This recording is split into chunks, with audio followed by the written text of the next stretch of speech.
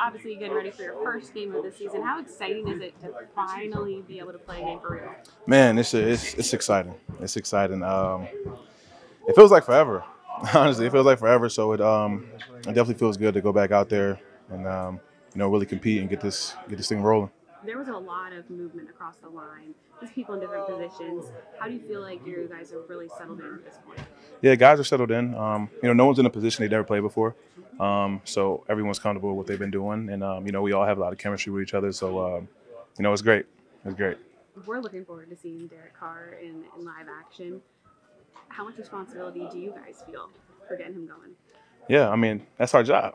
You know, it's our job to make sure he's good and he gets going. So, um, and uh, he can get so he can get in that rhythm. So it's definitely, um, you know, we're looking forward to it. You know, uh, I'm excited to see Derek uh, four quarters, and uh, you know, I'm just I'm excited. So.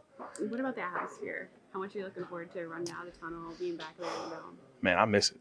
I miss it. Um, it's gonna be great. It's gonna be great to run out that tunnel uh, Sunday. I thought today was Saturday. I'm not excited. It's gonna be great to run out that tunnel on Sunday, and I just I really can't wait.